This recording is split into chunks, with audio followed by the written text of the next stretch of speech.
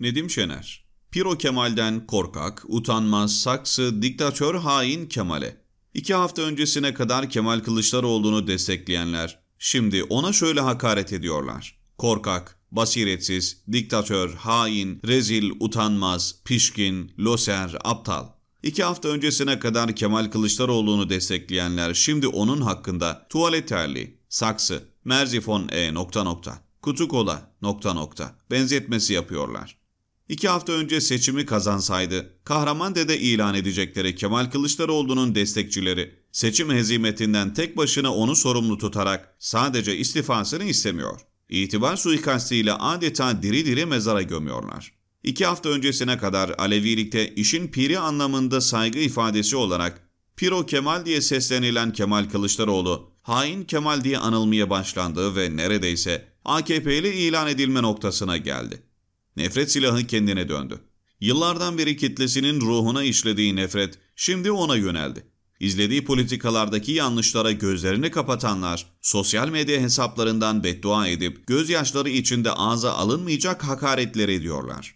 Tekrar tekrar vurgulamak isterim. Bu küfür ve hakaretleri siyasi rakipleri değil, adı soyadı belli, Kılıçdaroğlu destekçisi olan ünlü, ünsüz gerçek kişiler başta olmak üzere yine kendilerine yakın sosyal medya trolleri ediyor. Kılıçdaroğlu'nun sözcüsü Özgür Özel, yine algı operasyonuyla parti içinde Kılıçdaroğlu istifa etsin diyen yok. Sosyal medyada var. Alınan sonuç genel başkanımızı rencide edecek bir sonuç değil. Nefret yayan hesapların altını kazıyın, AK Partili çıkar diyerek eline yüzüne bulaştırsa da internette hakaret ve küfürleri Kılıçdaroğlu'yla yan yana yazdığınızda kimin kime ne dediği karşınıza geliyor. Batı'nın projesiydi. Kitledeki nefret ve öfke öyle bir hale geldi ki 12 yıldır herkesin gözü önünde yaşanan gelişmeler bir anda bir cümleyle söyleniyor artık. İş çığırından öyle çıktı ki Kılıçdaroğlu'nun Erdoğan'ın sürekli kazanması için batılı ülkeler tarafından bir proje olarak CHP Genel Başkanı yapıldığı gibi akla ziyan yorumlar yapılmaya başlandı. Hatta Fatih Altaylı bunu emekli bir büyükelçi olan eski CHP'li bir milletvekiline dayandırıyor.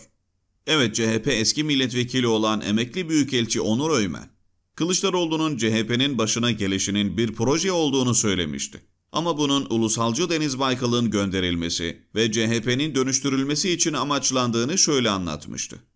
Wikileaks belgelerinden önce size şunu anlatayım.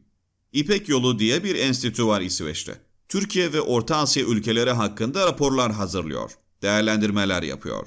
ABD'deki John Hopkins Üniversitesi ile birlikte çalışıyorlar.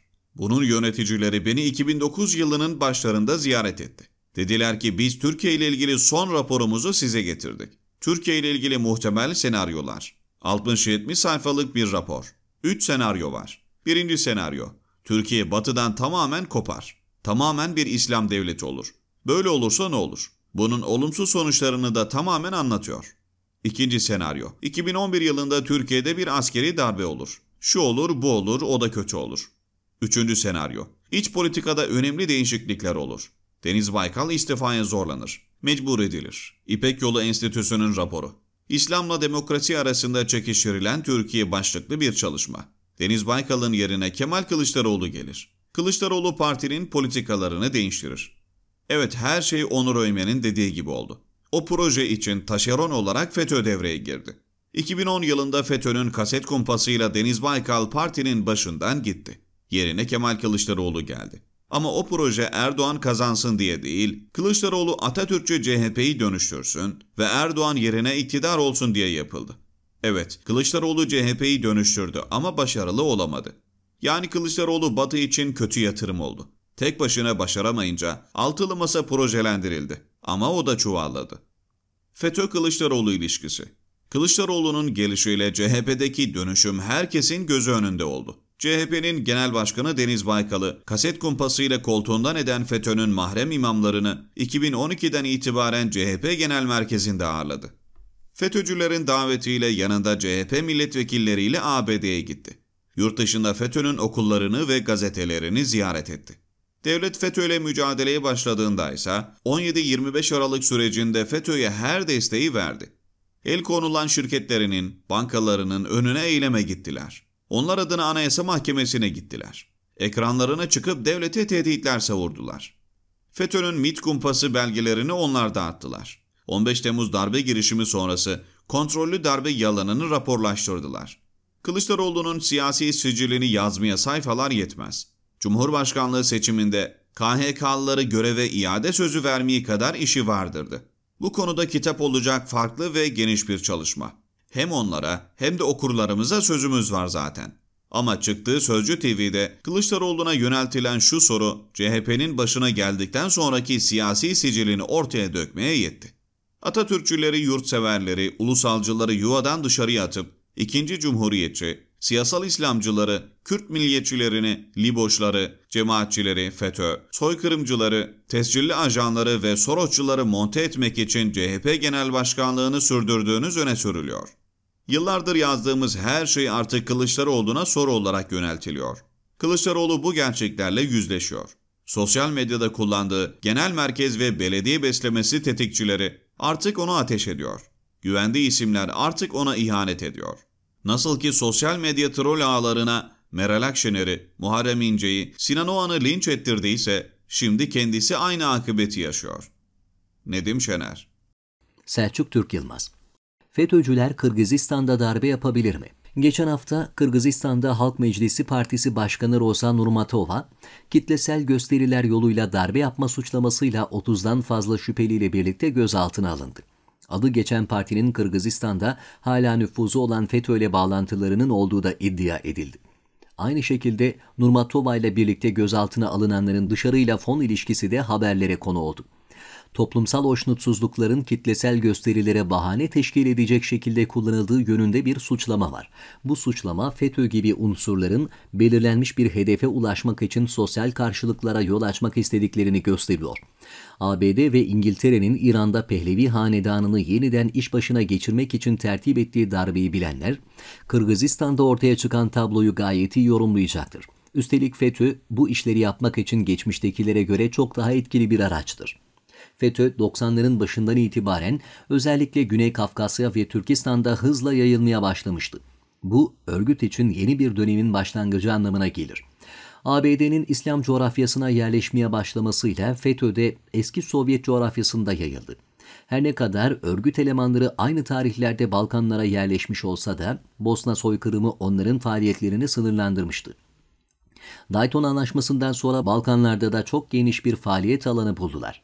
Yaklaşık 25 yıl tartışmasız en büyük örgütlü güç olacak coğrafyamızda derinlere nüfuz etmeyi başardılar. 15 Temmuz 2016'da da yeni bir dönem başladı. Türkiye içeride FETÖ gibi bağımlı yapılara karşı büyük bir zafer kazandı. Böylelikle ABD ve Avrupa tarafından devşirilmiş unsurlar Türkiye'de ve yakın coğrafyamızda alan kaybetmeye başladı. Elbette yeni bir dönem başlamıştı fakat ağırlık güvenlik mimarisine verildi. Ciddi bir halk desteği olmasına rağmen FETÖ ve benzeri yapılar karşısında fikri hazırlıkta başarı sağlanamadı. Bunun elbette birçok sebebi var. Eğer örgütün derin ilişkileri karşısında çok güçlü bir entelektüel zemin oluşabilseydi, manevra alanı muhakkak daralırdı. Fakat Türkiye içinde de görüldüğü gibi örgütlü bağımlı yapıların manevra alanı hala çok geniştir. Bu Balkanlar, Güney Kafkasya ve Türkistan için de geçerlidir. Güvenlik mimarisi ortaya çıkarken hangi unsurlar göz ardı edildi sorusunun cevabını bulmak için geç kalındığını düşünmemek gerekir.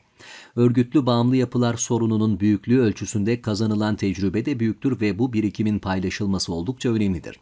Bağımlı yapıların en önemli faaliyet alanı saydığımız bölgelerdir. Uluslararası rekabet yeni boyutlar kazandıkça ABD ve Batı Avrupa ülkeleri geleneksel davranış modellerinin gereği olarak bu bölgelere tekrar tekrar müdahale etmek isteyecektir.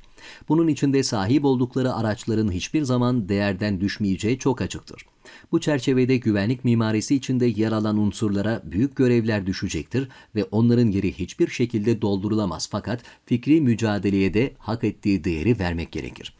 Türkiye'nin tecrübesinin değerinden bahsettik fakat bunun yakın coğrafyamıza aktarılmadığını da kabul etmek gerekiyor. Örneğin Azerbaycan'da ya da herhangi bir Türk ülkesinde FETÖ ve 15 Temmuz bağlamında yeterince yayın yapıldığını söylemek çok zor. Bu durum Balkanlar için de geçerlidir. Daha düne kadar bu bölgelerde de Türkiye'nin FETÖ karşısındaki yeni tutumu Türkiye için bir rekabet olarak görülüyordu. Hatta diğer terör örgütleriyle ilgili sorunlar da bağlamından uzaklaştırılarak ele alınıyordu.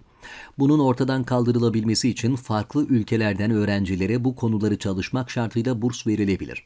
Farklı ülkelerin basın yayın organlarında FETÖ ve benzeri terör örgütlerinin amaçları ve faaliyetleriyle ilgili yayınlar teşvik edilebilir. Şu ana kadar hazırlanmış film ve belgeseller de dil bakımından anlaşılacak bir hale gelebilir. Bağımlı yapılar Türkiye'nin kendi koşullarında içerideki meşru rekabet ortamında ortaya çıkmamıştır. Bunlar emperyal merkezlerle çevre ülkeler arasında eşit olmayan ilişkilerin düzenlenmesi ihtiyacından ortaya çıkmış yapılardır. Bağımlı yapı denilmesinin sebebi de budur. Kendi başına varlık kazanmadığı için dışarıyla borçluluk ilişkisi içindedirler emperyal merkezlerin coğrafyamıza yönelik faaliyetlerinde bir azalma veya geriye çekilme gibi bir durum olmadığı müddetçe bu unsurlar varlığını koruyacaktır. Dolayısıyla hem devşirilmenin önüne geçmek gerekir hem de etkinlik alanları kısıtlanmalıdır. Bu da ancak bilmekle mümkün olabilir. Selçuk Türk Yılmaz